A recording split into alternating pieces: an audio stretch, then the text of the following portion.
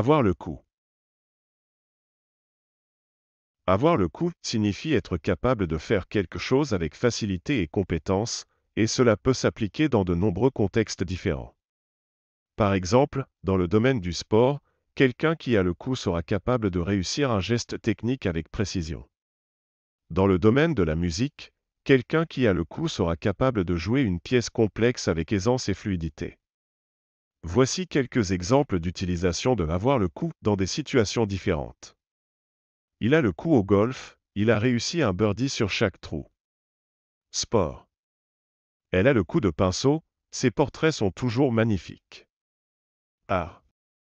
Il a le coup de la négociation, il a réussi à faire baisser le prix du bien immobilier. Commerce. Elle a le coup de la cuisine, ses plats sont toujours savoureux et présentés avec goût.